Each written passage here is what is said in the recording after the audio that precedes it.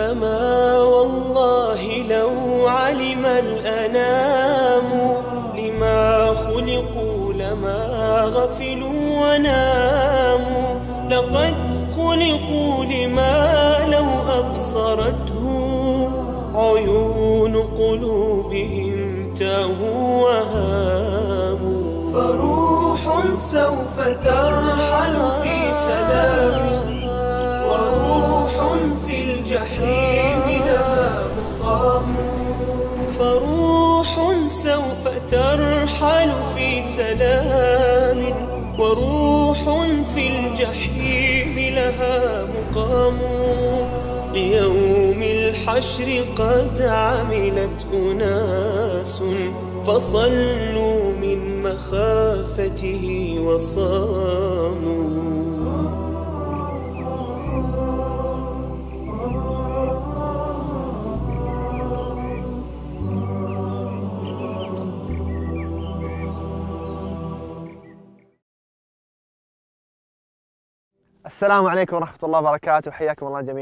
Сейчас мы поговорим о вопросах, которые будут задавать в могиле, и о том, какими будут ответы у верующих и у неверующих. Каким может быть наслаждение в могиле, и каким могильное мучение. Сначала послушай этот хадис, который привел Абу Дауд. Аль-Бара ибн Азиб говорит, «Однажды мы отправились вместе с посланником Аллаха, да благословит его Аллах и приветствует, хоронить одного человека из ансаров. Мы подошли к могиле, когда ее еще рыли. Посланник Аллаха, да благословит его Аллах и приветствует, присел. Мы уселись вокруг него, боясь даже шелохнуться. Они молчали и не двигались, как будто бы у них были птицы на голове. Из-за благоговения Пророк, да благословит его Аллах и приветствует, держал в руке веточку и разгребал ею землю. Вдруг он поднял голову и сказал, «Ищите у Аллаха защиты от наказания в могиле». Он повторил это два или три раза. После этого он рассказал о положении верующего после того, как его душа вернется в могилу. К нему приходят два ангела. В другом хадисе говорится, что пророк Мухаммад, да благословит его Аллах и приветствует, сказал, «Это два черно-синих ангела». Некоторые ученые сказали, что они черные, черного цвета, а глаза у них синие.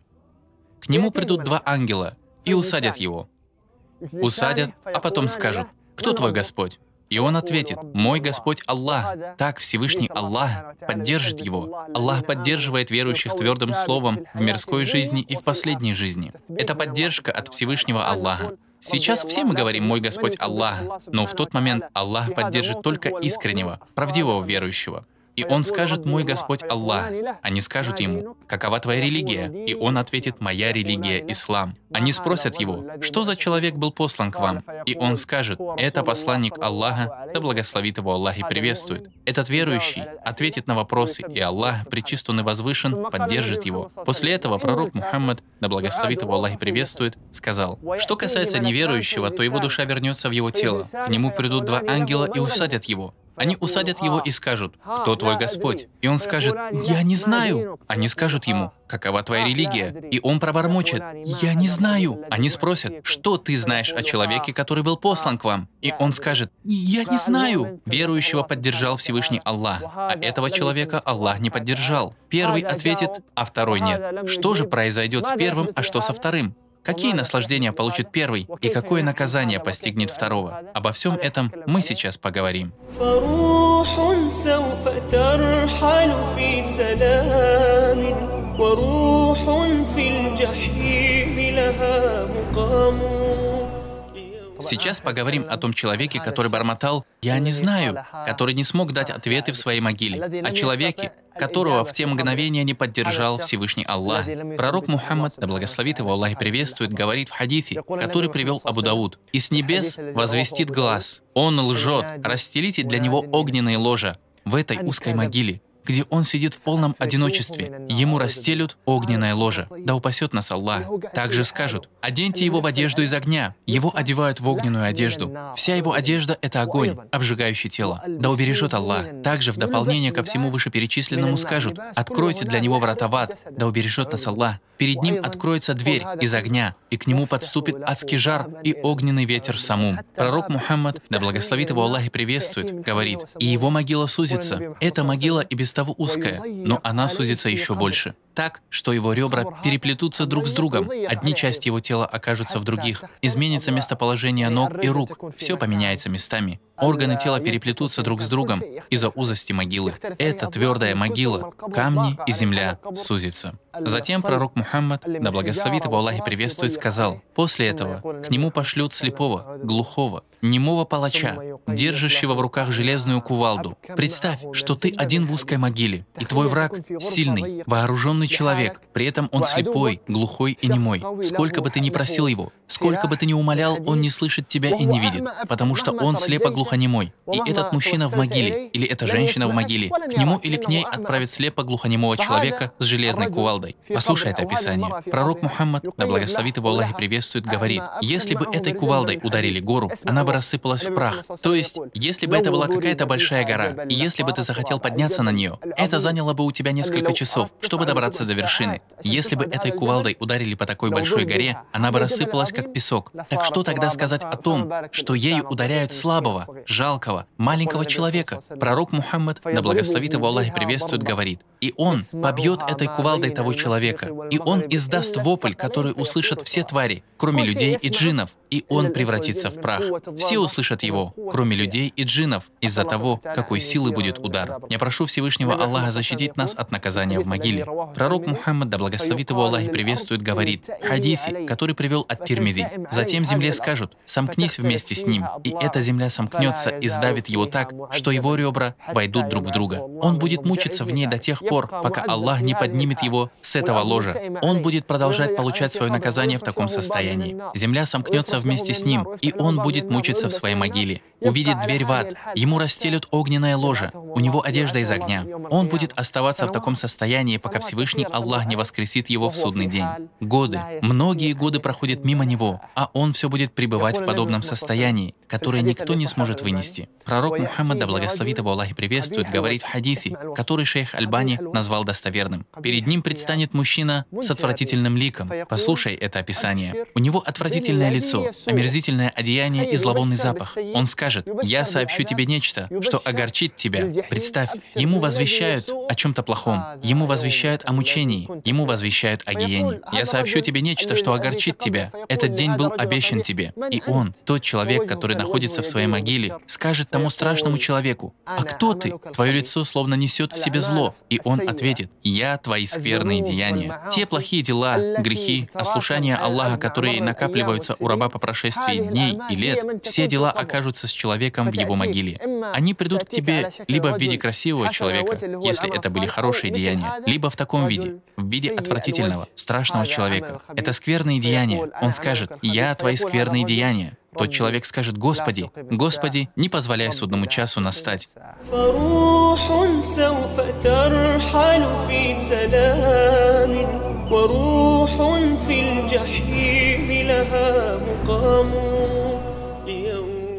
Некоторые люди проведут в мучениях этот могильный период времени, в мучениях, которые будут продолжаться вплоть до наступления судного часа.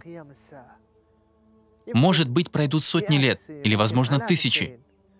И все это по причине дел, которые человек совершал в этом мире. Какими бы ни были эти деяния, если в них было что-то приятное, какие-то наслаждения, удовольствия, какими бы они ни были, стоили ли они того, чтобы кто-то провел сотни и тысячи лет, десятки лет в мучениях и боли? Конечно, это того не стоило. Давайте посмотрим на некоторые из дел, которые приводят к подобным мучениям и наказаниям. Мы расскажем об этих наказаниях. Вот хадис из Сахиха Бухари. Пророк Мухаммад, да благословит его Аллах и приветствует, описал зрелище, как какой-то человек лежит на земле, другой человек стоит над ним и держит большой камень. Этот человек, который стоит, бросает камень на голову лежачего и разбивает ему голову. Голова разбита. Голова раскалывается от этого огромного камня. Камень откатывается в сторону. Стоящий человек идет за камнем, берет его и возвращается. И не успевает он вернуться, как голова лежачего заживает и становится такой же, как раньше. И он проделывает с ним то же самое, что и в первый раз. Во второй раз камень также разбивает ему голову. И таким образом продолжается его мучение. Каждый раз ему разбивают голову. Постоянно. Это болезненное мучение. Очень сильное мучение. Кто может его вынести? Кто же этот человек? Кто тот, кто получает такое мучение? Это тот, кто учил Коран, но затем забрасывал его и просыпал обязательный намаз. Это тот, кто мог проспать обязательный намаз. Он проспал фаджр, зухр, аср, магриб, айша. Таким будет его мучение. И я прошу Аллаха наставить нас на прямой путь и сделать так, чтобы мы никогда не просыпали эти обязательные намазы. Также в этом хадисе пророк Мухаммад, да благословит его Аллах и приветствует, упомянул некоторые другие виды мучений. Вот печь, похожая на тандыр. В ней разожжен огонь. Огонь приходит снизу. В этой печи, как говорил пророк Мухаммад, да благословит его Аллах и приветствует, будут обнаженные мужчины и женщины. К ним постоянно приближается пламя снизу. И они кричат от боли. Очень сильная боль. И этот огонь и пламя все приходит и обжигает их. Кто это? Это прелюбодеи и прелюбодейки. Да упасет нас с вами Аллах от этого ужасного греха. Также пророк Мухаммад, да благословит его Аллах и приветствует, говорит, что видел реку, реку крови. Представь себе, в ней плавал какой-то человек, а кто-то другой стоял на берегу. Тот, кто плавал, хотел выйти из этой реки крови. Он хочет выйти. А у человека, который стоял на берегу, было много камней. Каждый раз, как плывущий доплывает до берега, тот человек с камнями закидывает камень в рот плывущего, и тот возвращается назад и плывет по реке, и так далее.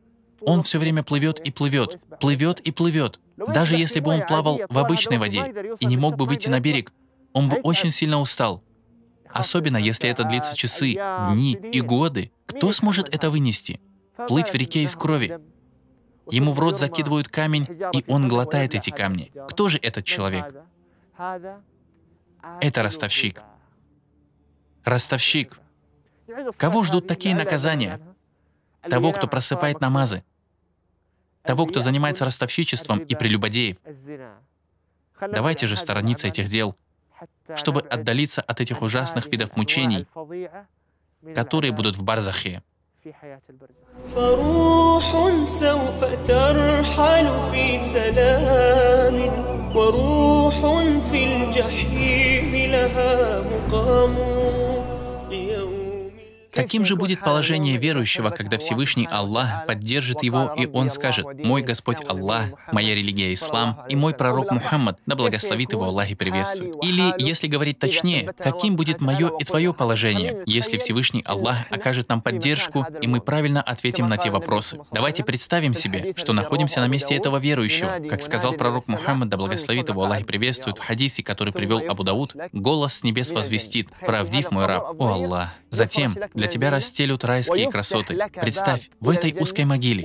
Тебе расстелят рай, и перед тобой откроют врата в рай. Тебя оденут в райские наряды, тебе принесут райские милости и благоухания. И твоя могила расширится для тебя до просторов, которые только может объять твой взор. Эта узкая могила будет для тебя расширена. Пророк Мухаммад, да благословит его Аллах и приветствует, говорит в хадисе, который шейх Альбани назвал достоверным. Перед тобой предстанет мужчина с прекрасным ликом, благоухающий приятным ароматом и в восхитительном одеянии. Ты спросишь его, кто ты? Представь, этот человек с красивым лицом. Ты говоришь ему, кто ты? Твой лик несет добро, и он ответит тебе, я, твои благодеяния. Это твое поклонение, это твое приближение к Всевышнему Аллаху, твое чтение Корана, твое благочестие по отношению к родителям, все праведные деяния. Сейчас твои праведные дела принесут тебе пользу в твоей могиле, и от радости ты воскликнешь, Господи, ускорь наступление судного часа. Аллаху Акбар. Я прошу Всевышнего Аллаха даровать нам это и укрепить нас, и поддержать во время время вопросов в могиле. И как сказал пророк Мухаммад, да благословит его Аллах и приветствует в другом хадисе, который приводится у Ат-Тирмизи, что его могилу расширят для него и осветят. Затем он скажет, то есть ты говоришь, Господи, верни меня к моей семье, чтобы я рассказал им об этом всем.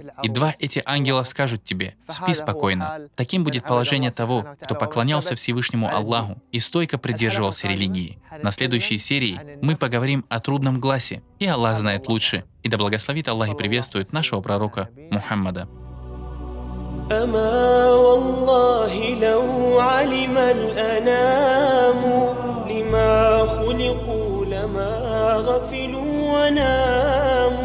لقد خلقوا